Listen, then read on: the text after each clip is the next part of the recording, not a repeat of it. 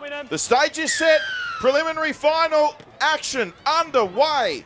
The Bears and the Seagulls. And Burleigh to start with it. Tyrone Roberts to Isaac Fasua Malaawi. Nah. So the Bears. Emery, you're holding Emre. Pere Through. nine That's away. right. Hamilton out the back. Keeney, beautiful footwork. Yes. Too good for Stanford Toledo. Keanu Keeney dancing and prancing his way to the try line. He scores. Well, Keanu Keeney, take a bow. Go. Only lost one in their last 12 home games, the Burleigh Bears, as Hamilton again to last. Keeney. Full last. Pere, Full last. Play on. Kia Pere away, back to Keanu Keeney. He'll be too hard to stop that close to the line. Keanu Keeney.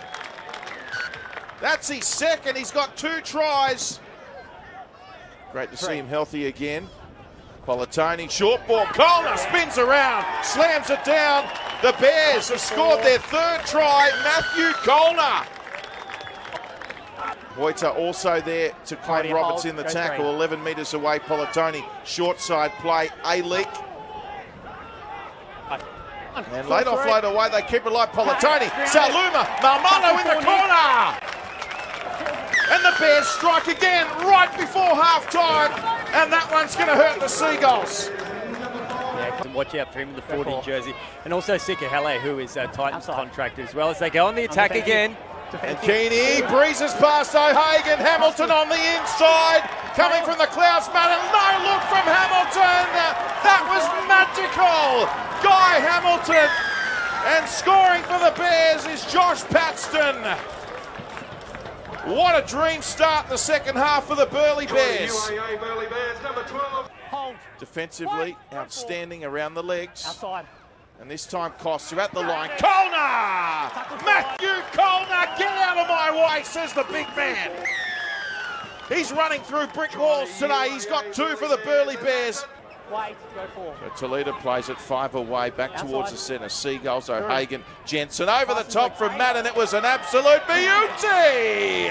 Blake Anders and Wynnum Manly finally respond. They've got their first points of the afternoon.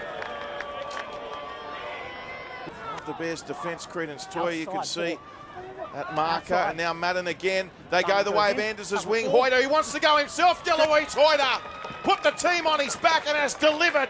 Deloise Hoyter. Wynnum Manly with two in a row. Go for Deloise. Watch Deloise. Three metres away as they come all the way back. Polatoni now 15 out. Hamilton. And here's Toya. Beats two. Can he beat a third? Reaches out. Credence Toya. Specialising in anything that can't be done here this afternoon. Burleigh Bears, number 14. The former South Logan Magpie, Canterbury Bulldogs last year. Having. Taylor Brown as a former front rower, I'm sure you can appreciate that. Defensive. Defensive. And here's Defensive. the Bears again. They're getting another one. It's Joshua Paxton. And Patston now has a double. It's party time here at UAA Park. Keeps Took clear. the collision for his team. Roberts Crossfield. Here's goal. looking for his hat trick. Joshua Paxton. But Francis. Francis comes from the clouds. Tony Francis. And a little dance just to top it all off. seen a touch, Nick. Tackle six. Bears, number two. Hold. Go. Five away. Coming back here for the field goal. And Dylan Kelly.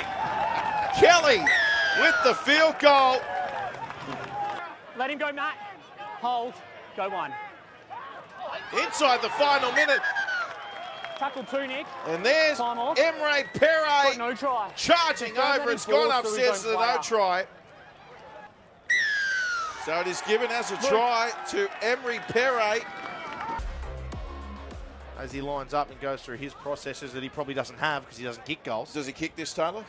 Oh, as a front rower that's kicked a goal from the bench, I'm saying yes, he does. I'm backing Dylan Kelly in.